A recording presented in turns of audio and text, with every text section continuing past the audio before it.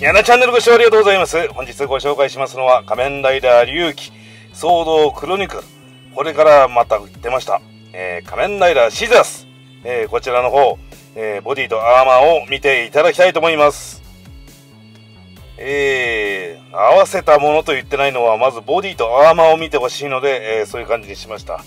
ちょっと私の中でちょっと気に入ってるんで、一応バラした状態でシールを貼った感じをちょっと見てもらおうと思って、えー、この動画を、えー、入れるようにしました。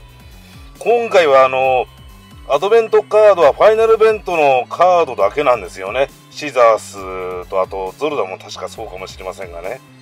えー、えー、まあ、あとはもしかしたらミラーモンスターの時についてくるのかなと勝手に期待してます。まだあの見てないから分かりませんけどね。で、このシザースバイザーが開いてるのと閉じてるの、あとこのシザースの顔顔ですね。え上が外せますから、シールを貼るとき、あの上外してシールを貼った方がいいですね。あとこれがボディでになりますが。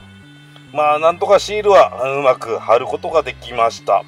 では、これが完成した状態ですと言いたいのですが、シザースバイザーはまたつけてます。えー、なぜならば、左手ってあの、これは普通のあのーね、武器を持たせる手なんですけど、こういう機械じゃないと見せられないんですよ。シザースバイザーつけちゃうと、全く手首隠れちゃうんで。で、この状態を見てもらいました。えー、この状態と見てもらって、シザースハンドをつけた状態。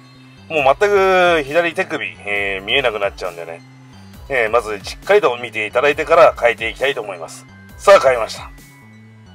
シザースバイザーをつけた状態の、え仮面ライダーシザース。まあ本当にこれが完成した感じになりますね。えー、ほら、こう手首がね、グーになって、一応つけれる手がもうこれしかないんですよ。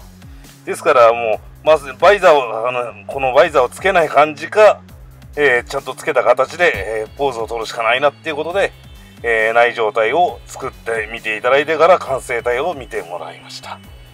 まあこのシザースバイザーもね、えー、ただ召喚するだけじゃなくてこうやって攻撃する武器にも使えるんで、ちょっとポーズをとってみたらこんな感じになりますね。